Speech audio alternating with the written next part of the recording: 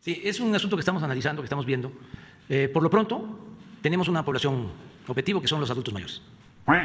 Porque está técnica científicamente demostrada que es la población más vulnerable frente al COVID y también mm, frente a otras enfermedades. Entonces, las personas mayores. Entonces, no vamos a este, tomar ninguna otra decisión hasta terminar lo más pronto posible de vacunar a los adultos mayores. Ya se vacunó a quienes están en hospitales COVID. Por eso, eh, nuestra decisión de reforzar el programa de vacunación, porque es un asunto de días, no vamos a demorar mucho.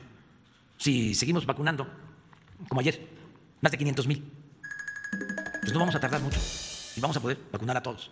En la medida de que eh, se siga teniendo disponibilidad de vacunas, vamos a continuar.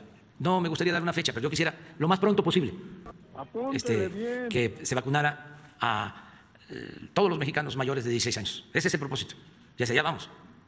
Entonces, este, nada más que va a depender de las vacunas. Entonces yo le pediría a todos que eh, nos esperen, que tengan confianza, que no estamos olvidando a nadie, que no vamos a dejar a nadie sin protección. Nada más que lo tenemos que hacer con orden. A todos nos va a tocar.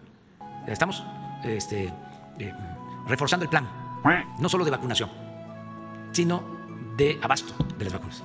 Y pronto vamos a dar este, más información y buenas noticias. Eso es lo que puedo decir.